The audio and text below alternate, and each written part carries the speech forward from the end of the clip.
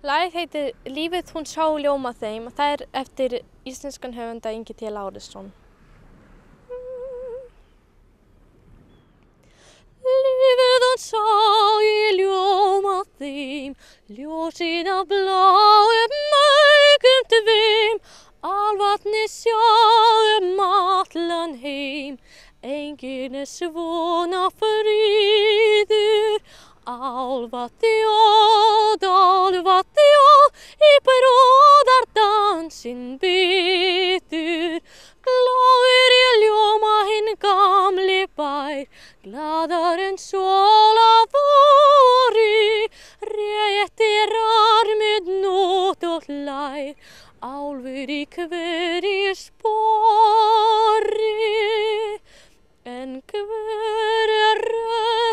Röttin sæta svo sem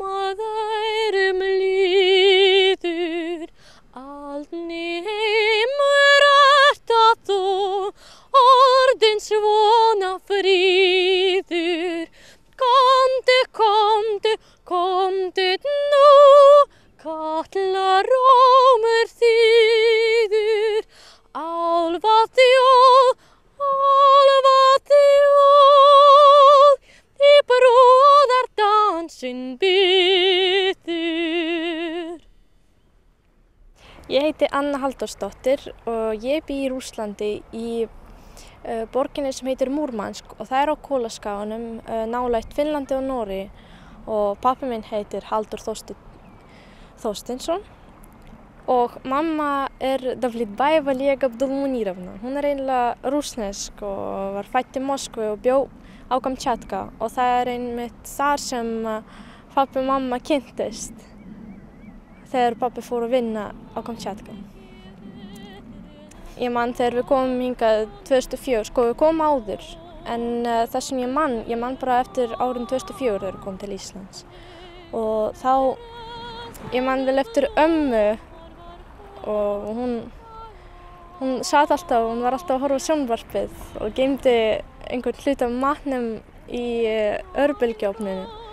En pappi, allt- pappi sagði alltaf að hún var rosalega góð kona og svona góðar minningar.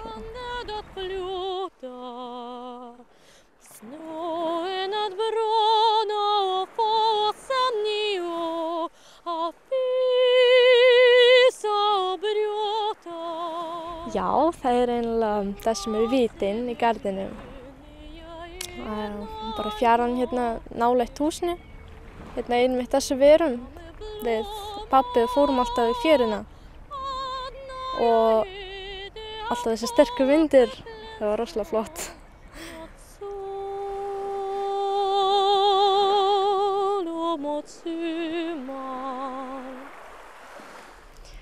Það var kannski á skemmtafyrðarskipi í fyrra í desember.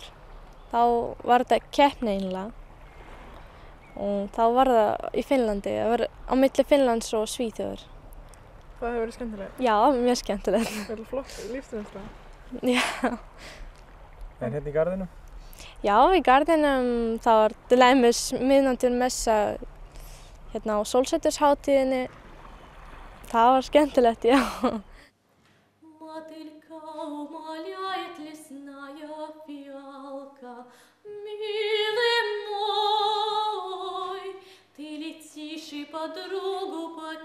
смерть мне жалко,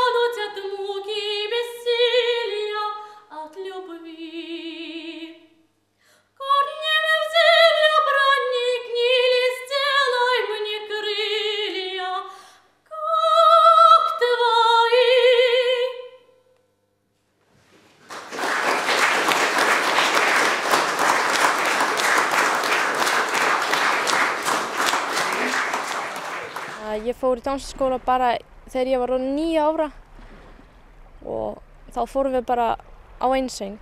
Það bara gekk svona vel.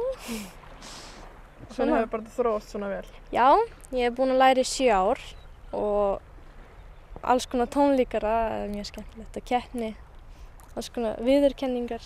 Þannig að framtíðin er björt. Já, ég veit ekki alveg, ég, kannski, ég er líka áhuga á tungumálum og hver veit, veist, það getur, getur bara breyst allt saman. Kemur bara ljós. Já.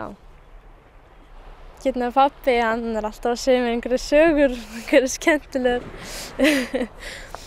og um, það er sagum orð marbendill. Hann var að segja mér sögu að þessi marbendill, hann bjó í sjónum. og svo var einhver kall að veiða á bát og hann veitti marbendill og hérna fiskur ekki svolítið, stók hann heim. Og svo á menn bara á sko, leiðinni heim þá um, rak hann sig sko, skóin í þúi og datt. Þá fór man, marbendit að hlæja á hann svo þegar við komum heim þá sagði hann í þúinu voru eitthvað mikið af peningum og eitthvað svoleiðis. Já, og svo kendi hann Helgu, sýstir minni, þetta orð. Þá þegar var einhver orðaleikur í skólanum eða eitthvað svoleiðis þá hann þetta orð og þá voru allir hissa, hvað veist þetta orð? Eitthvað skemmtilegt orð.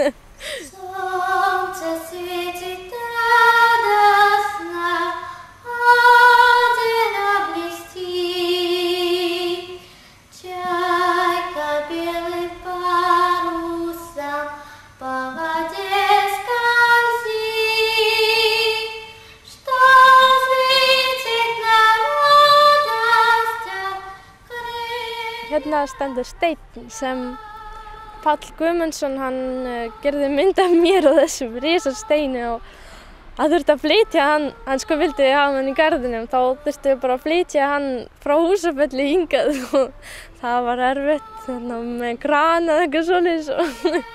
Þetta er sko 17 tonn að steitn, hann er rosalega stór.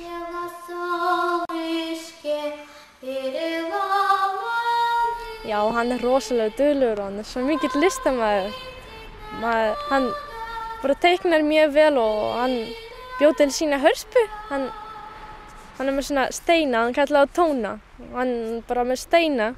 Hann bara spilar á þá eins og xílofóni. Já, þetta var bara, við fórum á húsafell í sumabústað hans Gilva, bróðu pappa. Og þá fórum við í kirkju og heyrðum að það var eitthvað fallið tónlist þarna eitthvað og fórum að kíkja og heldum að það þurfa að borga eitthvað eða, þá sagði pappi að ætliði hann ekki bara að borga með söng. Hann sagði að það er ekki að borga hann er að hlusta á söng og allt í lagi þá söngi yfir palla. Þessi högmynd hérna, þetta er Anna Hald- Halldórsdóttir og hún er ættuð hérna hún er, hún er ættuð, hún er komið úr Sýrasnorra eins og ég Guðmundur Gísla Jakobsinni. Gísli Jakobsson hann, hann var sónu Jakobs og, og sá Jakob var sónu Sýrasnorra og sá allir. Og bæði Gísli Jakobsson var mikill legstanarsmiður og það er einmitt steitna eftir hann hérna í gardunum sem getur síndir kannski á öttir. Úlítæði farúsning, gáðu bóð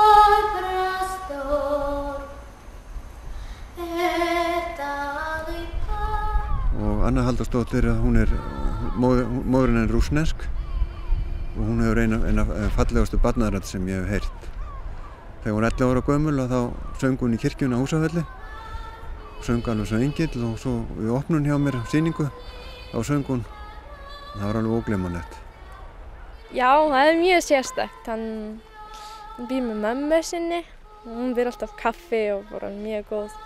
Og hann er með svona nokkur hús þar sem eru alls konar listaverk hans.